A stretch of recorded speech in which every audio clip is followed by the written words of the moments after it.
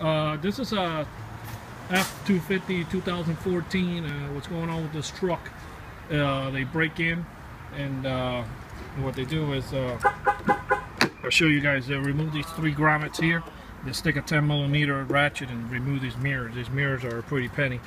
Uh, basically what they do with the tailgate, of course, they go ahead and bust out the back lock and they steal your tailgate, which can become a mission getting a new tailgate. Okay, so we end up sticking the Autopage 350 alarm system.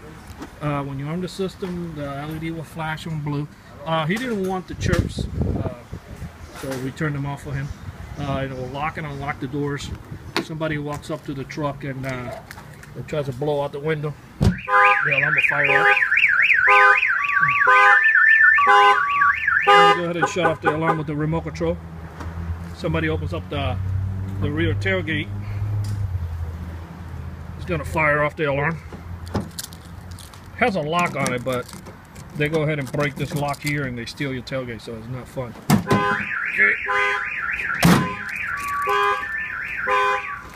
We go ahead and uh, protect this back tailgate because a lot of uh, uh, sometimes when you go out and get an alarm, they don't take the time out to tell you about the tailgate. And uh, due to the fact that this truck is separated in two partitions, the shock sensor will never pick up the back unless you crank it up so high, and then you'll get false triggers. So the proper way is to uh, put a uh, magnetic pin switch uh, back there, so if they open up the tailgate, the alarm will fire off.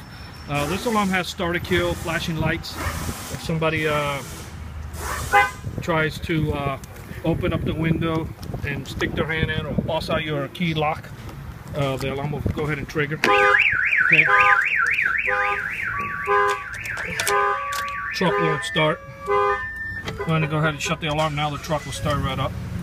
Uh, look how beautiful this truck is. This is a Ford F2 uh, 250 2014. I mean 2014. Uh, this alarm is a Autopage 350 installed here in Miami by Auto Alarm Specialists. Thank you for watching this video.